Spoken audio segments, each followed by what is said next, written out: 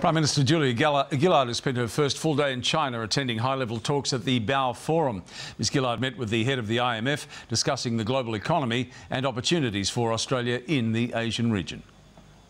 In China, to strengthen ties with the new leadership, Julia Gillard rubbed shoulders with business and political leaders, taking the opportunity to hold one-on-one talks with the International Monetary Fund Director, Christine Lagarde. The IMF is verifying that we live in the growing region of the world. The Prime Minister using that affirmation to tell the government's economic story, whilst taking a swipe at the opposition's economic credentials after Julie Bishop criticised Labor's trade negotiations. It should have been a priority of this government. It hasn't been. In fact, the Minister for Trade even said that a free trade agreement with China was overrated. We continue in those discussions to bring a sophisticated understanding as opposed to the sort of uh, simple uh, talk, uh, you know, the kind of uh, uh, economic simpleton talk. Securing a free trade agreement between the two nations is one of the goals set out in the Asian Century White Paper. So is developing stronger business business ties.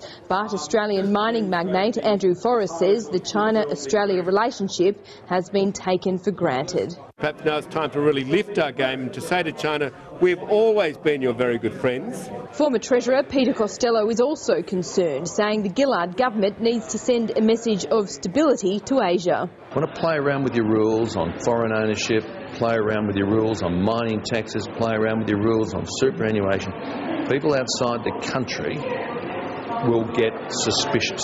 The Prime Minister will meet Xi Jinping here on the sidelines of the Boao Forum, but she'll have only half an hour with the President, and much of that will be taken up with talks on North Korea. The unpredictability of the situation is keeping the world watching on nervously. Laura Jayes, Sky News, Hainan.